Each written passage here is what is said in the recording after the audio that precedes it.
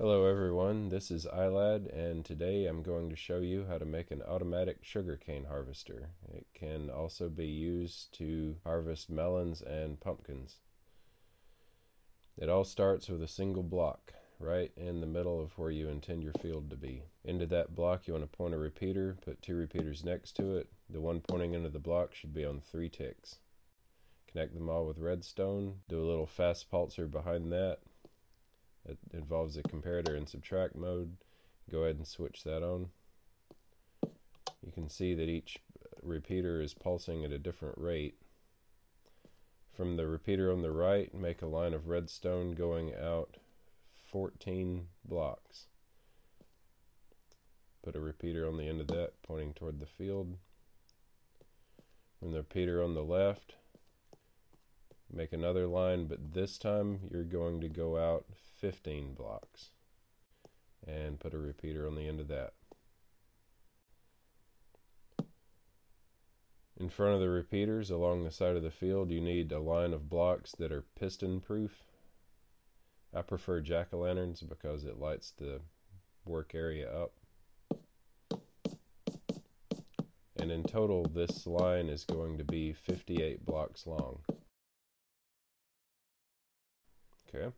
On top of that, you need a line of redstone going all the way from end to end. Good.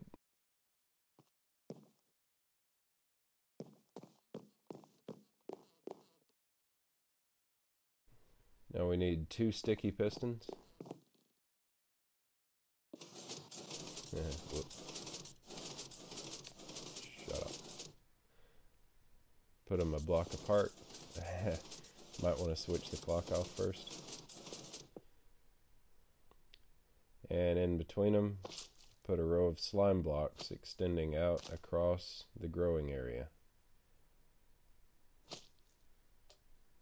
Go ahead and reconnect this. Oh. And the whole harvester moves under its own power down to the end. It reverses when it reaches the end of the redstone line.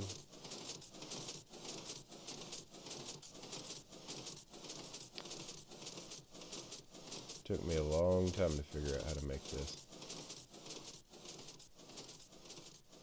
But it all comes down to the timings on those three repeaters that are side by side. The middle one needs to be on three ticks, and the two outer ones need to be one tick each. Gets down to the end, reverses direction.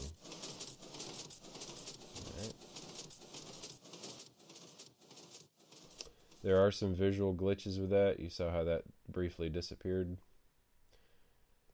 It can also cause lag, but it's nice to have this little on-off switch. Uh, sometimes if you switch it back on, you notice it didn't get all the way down. It immediately reversed.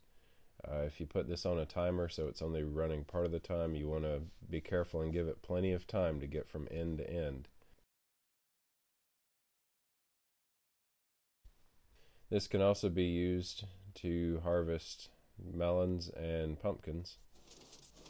So we've got a field going here. Just for aesthetic reasons, I like to harvest the pumpkins and melons with iron bars. Iron bar down on the growing surface, slime blocks coming out far enough to catch the uh, the harvesting bar as it goes past.